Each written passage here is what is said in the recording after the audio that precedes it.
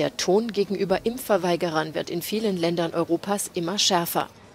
Italien bildet keine Ausnahme und zieht die Stellschrauben noch einmal nach für diejenigen, die es vorziehen, sich nicht gegen Covid-19 impfen zu lassen.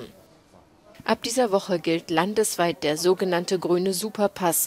Nur vollständig Geimpfte und Genesene erhalten den Nachweis, der ab sofort für die Nutzung von Bars, Restaurants, Freiluftveranstaltungen und zum Reisen benötigt wird.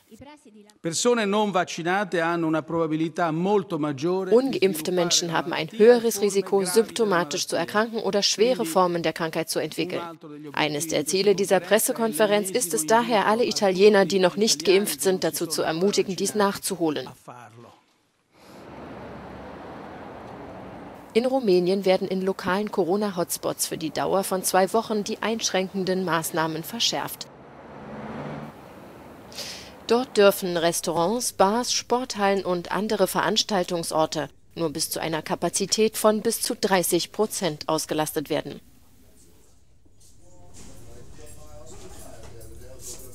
In Island konzentriert man sich verstärkt auf die Impfkampagne für Kinder Manchmal ist aber auch die gesamte Familie mit von der Partie, wie der Vater von Emilia berichtet. Uh, wir hatten eine Diskussion darüber. Ihr Bruder ist bereits geimpft, er ist aber älter als sie und wir hatten eine längere Diskussion mit ihm. Aber für mich und für sie war es eine Selbstverständlichkeit, sich impfen zu lassen.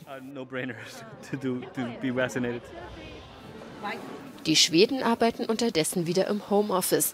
Denn der Anstieg der Covid-19-Fallzahlen setzt die Krankenhäuser unter Druck. Doch nicht nur das. Für die kommenden zwei Wochen wird die Zahl der Menschen bei öffentlichen Veranstaltungen begrenzt. Restaurants müssen um 23 Uhr schließen.